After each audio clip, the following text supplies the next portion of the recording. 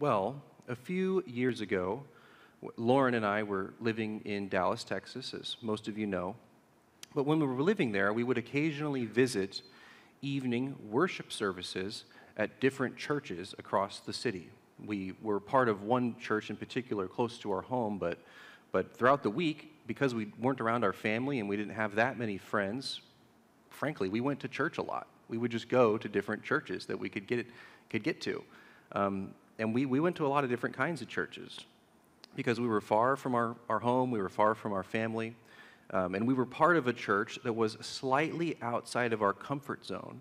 So we ended up going to different churches beyond Sunday morning just to experience more of what God was doing in the city of Dallas. We knew we weren't going to live there forever, so we wanted to see as much of what God was doing as we could.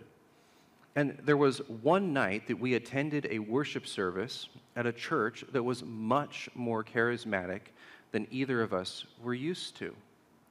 And yet we were drawn in for the powerful worship music, and we'd heard really good things about the people. So we, the, the, the, the witness of the church was out there in the community. We heard about it, and we went, we showed up.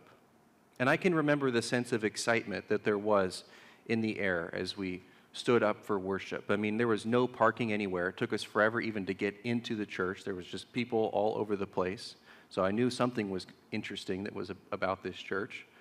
And the musicians are tuning up, and you can kind of hear the end of what was probably a sound check happening. But before the musicians launched into their first song of worship, there was a pastor who got up and he gave a sort of introduction to the evening. And I will never forget what he said to all of us. There's people packed everywhere. He said, We do not know what is about to happen. And then he stood there. And I was kind of like, What? How do you start with that? How do you stand up and just say, We do not know what is about to happen? Because I've been raised in churches all of my life, and I've been in many kinds of Christian fellowships for worship and I was pretty sure that I knew what was about to happen. But then he pressed the point. He said, We do not know what is about to happen because we serve a surprising God. We serve a God who we do not fully understand. We serve a God who we cannot always see coming It blew my mind. I knew that truth, but I'd never been invited to ponder it at this exact moment when I felt most certain about God. Then he gave examples from the New Testament of people raised from the dead, of others who were struck dead for lying to the Holy Spirit, and of others still who saw miracles and signs and wondrous works in their everyday lives when God chose to make himself known. And as we began to worship, it hit me. We were worshiping the same God who sent a whale to swallow Jonah. Same God.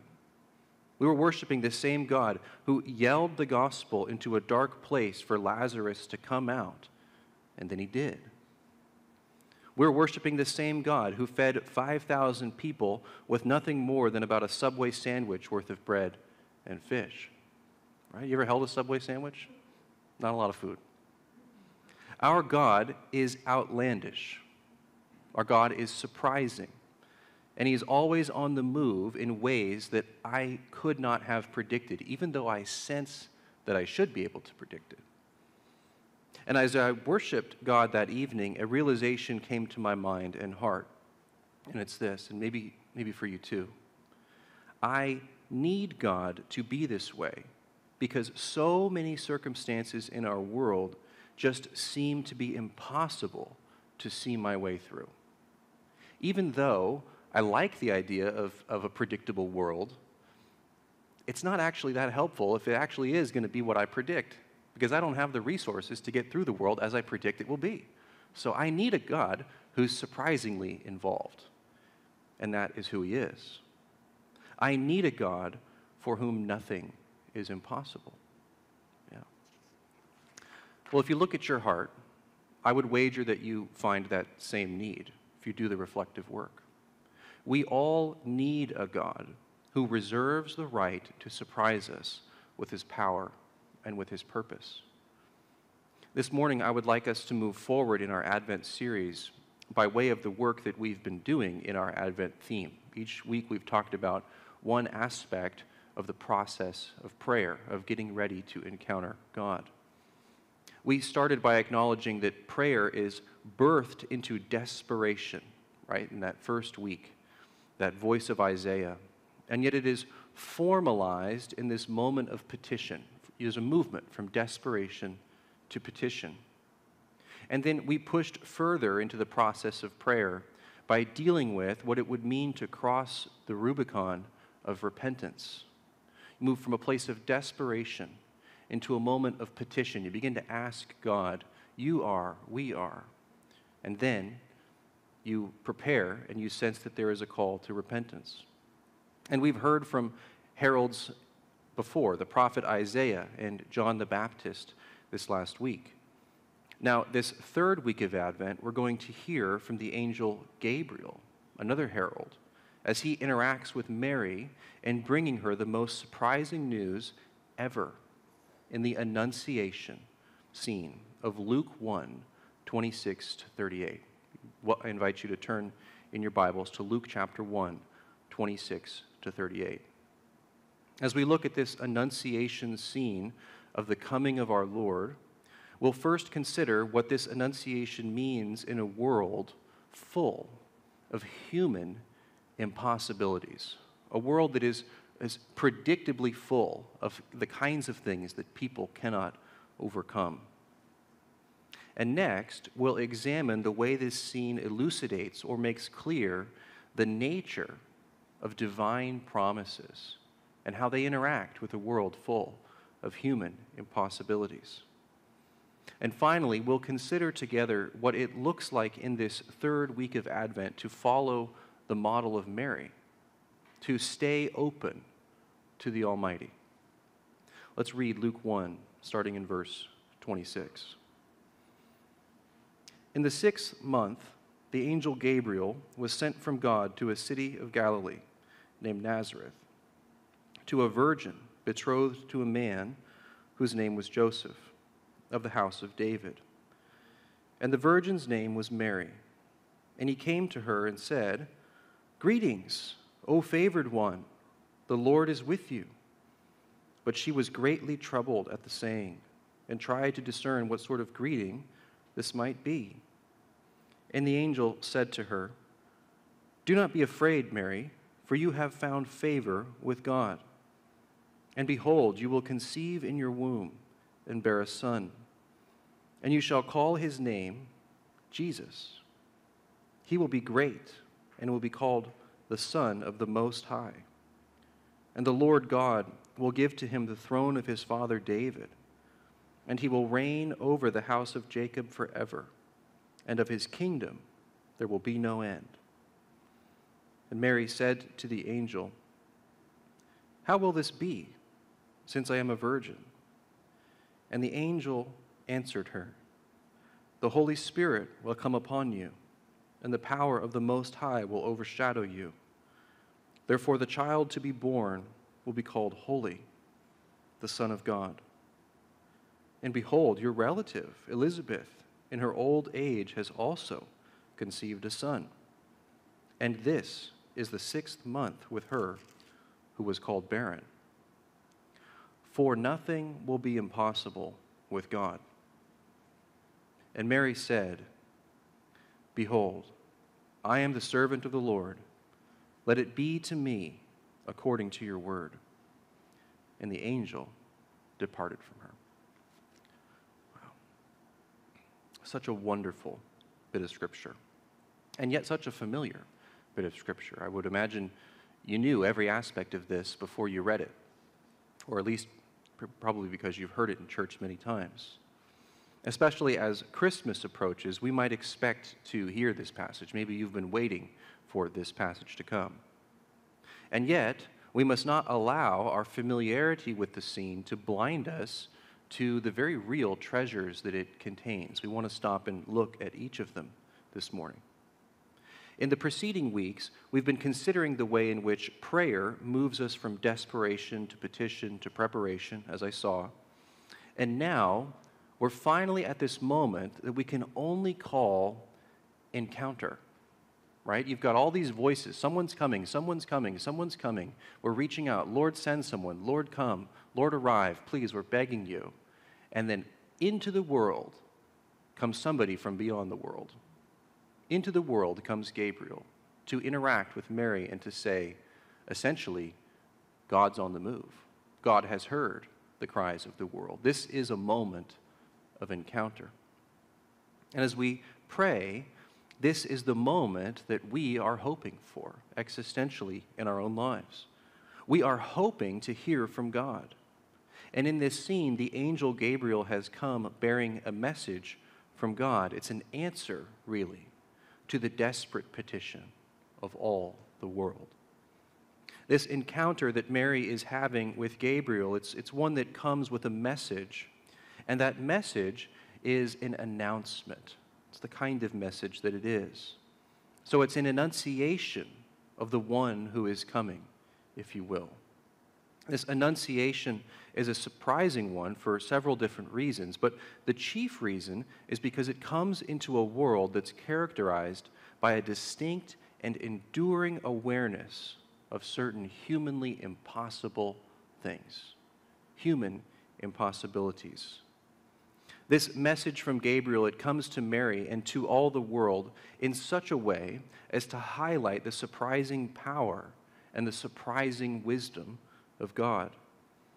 The way that God comes into the world to make himself known and then to redeem the world is by way of two things that should be humanly impossible, or that at least seem humanly impossible. But more importantly, these two impossibilities are tied up with two fundamental sources of human longing, if you begin to think of what these two impossibilities represent. The first human impossibility through which God chooses to work has to do with the mystery of procreation and human life. Mary is a virgin and yet shall be with child. Elizabeth is a barren woman, past her childbearing years, and yet is pregnant. Humanly impossible situation. Since I've entered a life stage where children are being born and I'm around families with others who are having children, I know there are many complexities to navigating the process of procreation. I've seen firsthand the, the great sense of natural longing that is bound up in the process of becoming pregnant, remaining pregnant, and then delivering a baby safely. It's intense business. It's a process that, for all of our medical advances in the year 2021, it's a process that remains strangely out of our control in certain ways. And because it's so often out of our control, it remains a place of deep mystery and faith in God. It really does. In Mary's day, it would have been even more mysterious and all the more a place of dependence and longing for her. Mary is a virgin. Surely it is plainly impossible to be a pregnant virgin, right? There's no news here. This is still plainly impossible. And yet, Gabriel is saying that she will not only become pregnant without sex, but she will bear one who will be called the Son of the Most High. That's his title. Virgins do not get pregnant, and barren women past childbearing years do not suddenly become pregnant. At least these are supposed to be the laws of the universe. This is what you would predict. And yet, into this place of profound human longing, into this place of, of seemingly human impossibility, God has begun to work. This is his way in. The second place of really deep longing in this text is also a place of seemingly human impossibility. This one's a little bit more subtle. I want you to see it. The angel Gabriel is telling Mary, and through Mary, all of Israel and all of the world, that the throne of David is going to be upheld. The throne of David is going to be upheld. Now, now why would we consider that an impossibility? Right? Uh, you kind of understand the virgin with a baby thing. That still strikes us as obviously impossible and, and kind of amazing. But why this? Isn't this hypothetically possible at any time? Couldn't some man come along at any time and occupy this throne? Well, the Davidic covenant, as initiated in 2 Samuel 7, and then further referenced in Psalm 89, right? They both say that this throne shall be occupied with a descendant of David forever. This is God's promise. And yet, ever since Nebuchadnezzar removed Zedekiah from the throne, a long time ago, right, there has not been a descendant of David sitting on the throne. Big problem. Very big problem. What's going on? Somewhere around 500 years has passed at least, and it seemed more and more impossible that the throne of David was ever going to be upheld. Can you even imagine how long? Five, that's like longer than our whole country's been here. Like, would you still be thinking that that was going to happen? Right? I don't even think of things that are 500 years old on a daily basis. And yet, that is what this angel shows up to say. This is going to be upheld. And this fact of its lack of uh, a king on the throne, that would have been a source of grievous longing for God's people. They had a much longer memory than I do, right? They're thinking in much longer periods of time, much deeper anxiety. And these are the questions they might have asked as a people Will deliverance ever come? Will it ever come? Are we stuck like this under the boot of Rome, under the boot of whoever? Will we ever be ruled by God's man again? Will we? Will we ever have justice and mercy and right rule in our own God given land again? Right? These are the deep existential questions of Israel. These were the longings of a people who were losing hope. And yet, Gabriel comes with an annunciation of just such an impossible solution. The man named Jesus, born of a virgin, the Son of the Most High, he will sit on this throne forever. And here's the point if you take these two impossibilities, these two seemingly human, impossibly fulfilled longings, they're stoked together. The human heart has to ask this question Can all be finally made right?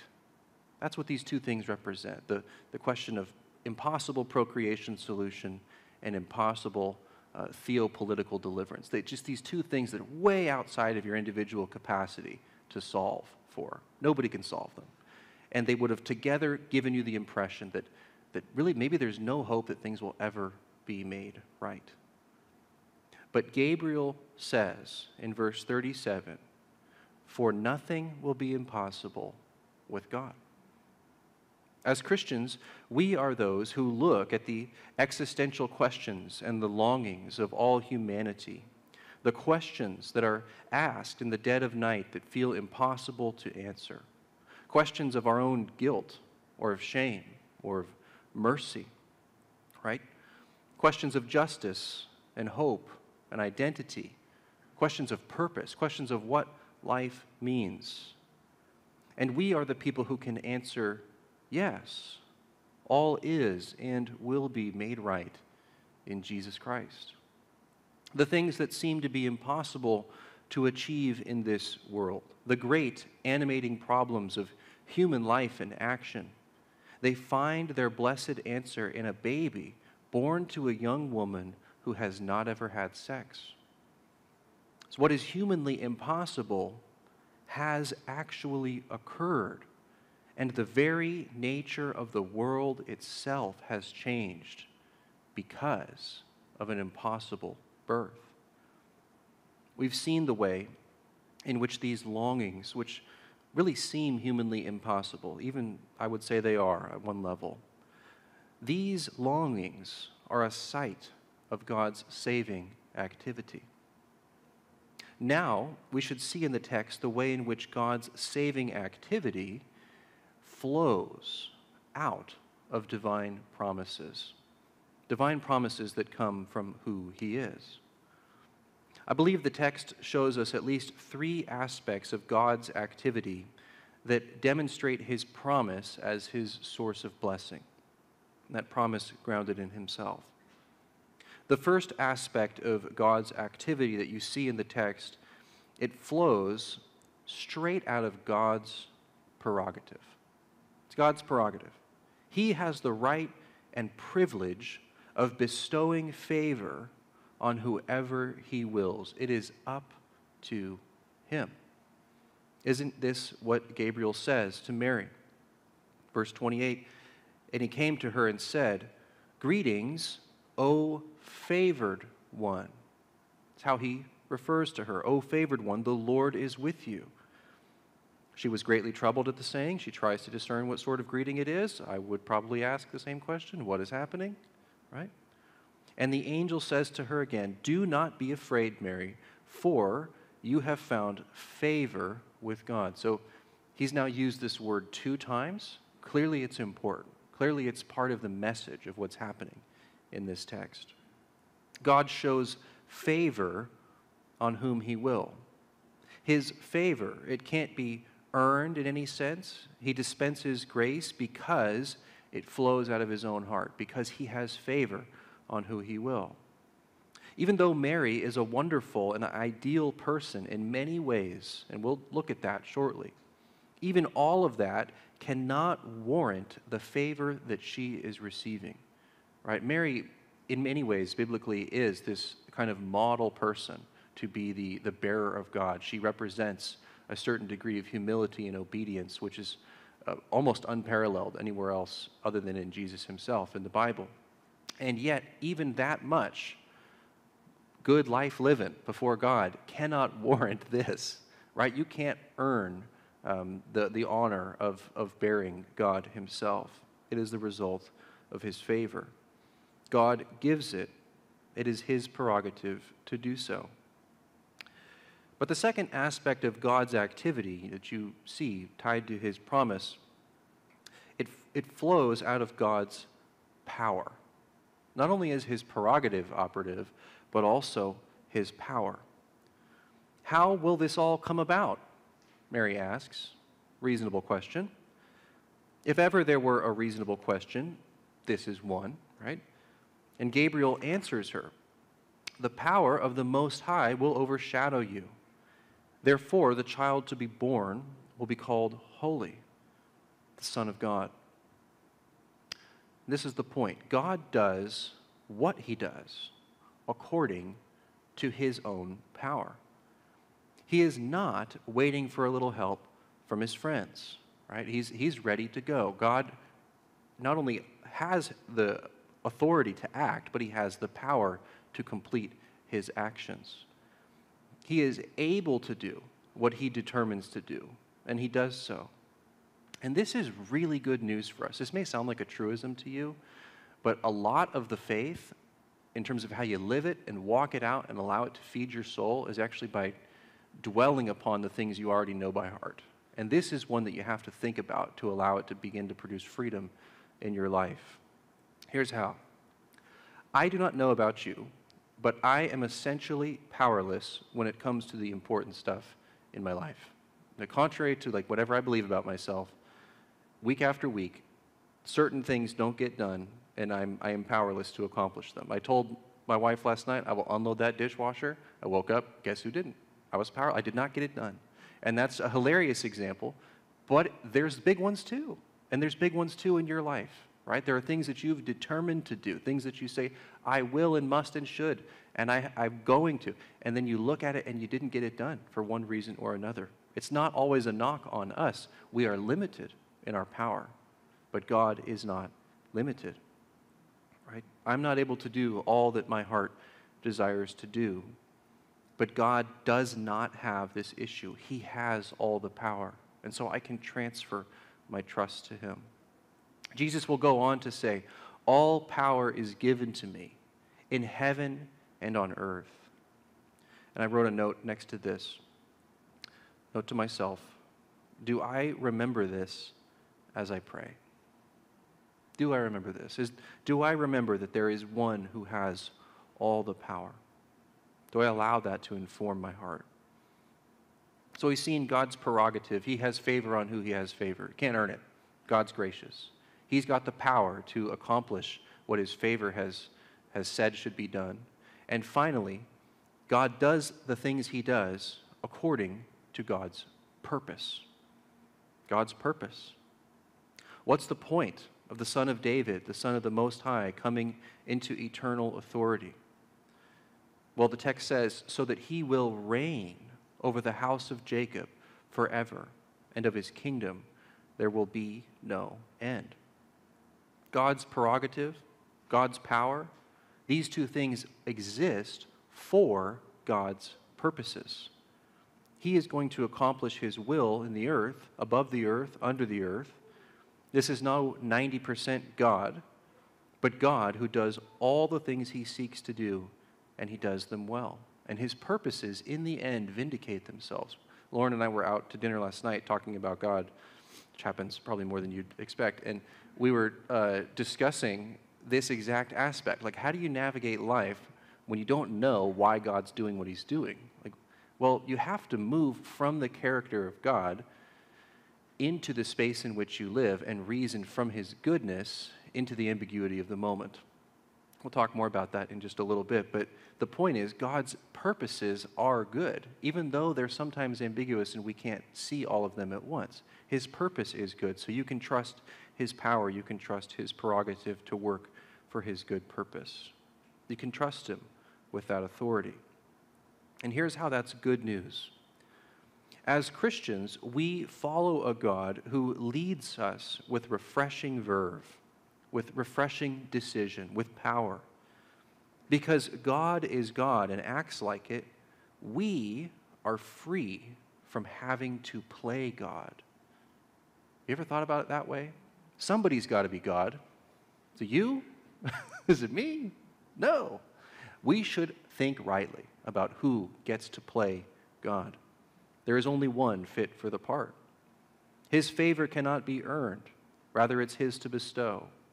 That frees us from a life of dreadful earning. If you think about that, if God's grace is what's operative in the world, then all of my effort to work, you know, is, is wrong-headed. I should receive. His promised work will be accomplished because of his own power rather than ours. This frees us from a life of constant worry about our limited capacities. I need this word, right? Finally, God will do his work for his reasons and for his divine purposes. This frees us from the burden of having to know all the answers. Rather than knowing it all, we are free to trust the one who does. This places human impossibility these, these sites of human impossibility, really, they are the sites of God's saving activity carried out according to his prerogative, his power, and his purpose. And, and to this we say hallelujah. To this we say amen. To this we close the book and we walk out into the world with a God that we can trust, that we can work with. So as we close, let's look at Mary as she does just that. Let's turn our attention to her. She demonstrates perfectly molded character here in this scene. She models perfectly what it looks like for us to stay open to the Almighty. Take a look. I think she does three things that, that we've hinted at so far, but that she puts really clearly in her answer. When, when she asks, how is, how is all this going to be done? She gets her answer and she moves forward. And really, she's doing three things. The first is this she models for us that we are to ask how God will fulfill his promises rather than if he will. This is huge faith from Mary. But this is where we can walk in faith and trust. She models this for us. She gives us the language for trusting God and moving forward. Ask how God will fulfill his promises rather than if he will. I know that this is a this is a, a site of faith for me each week, even last night as we were talking about God's purposes and his promises over dinner. um, this was a bit of, of, of what we have to come to. We have to start with the supposition that God's good, and we're really asking and expecting Him to fulfill His promise in some way. And we're not, we're not doubling back in the language of if, but we're moving forward in the language of how. She does this well. There's another thing she does well. She receives the answers that God gives with reverent expectation rather than incredulous needling. Big words there, incredulous needling. I probably should have said something else, but you get the idea. She chooses reverent expectation when she hears the answer rather than ongoing um, pushing and prodding. And I think this is where we can experience hope. It's choosing this reverent expectation over incredulous needling that hope is now available to us. Gabriel has an authoritative word. Why not live into it, as Mary does? And the third thing that I think she does for us here is that she shows how to press into the goodness of God in the midst of an enduring mystery. Right? I mean, think of the answer that she gets. Gabriel, oh, good question. God's just going to overshadow you. You know, you'll be pregnant and you'll move forward. Oh, that solves it. Like, what? Like, what kind of an answer is that? Like, it's an answer, right? It's true, it's, it's authoritative, but that doesn't tell you very much about what's going to actually happen to Mary. But you look at her answer, right? She just says, I'm the Lord's servant. Be unto me uh, as you would have. And she moves forward.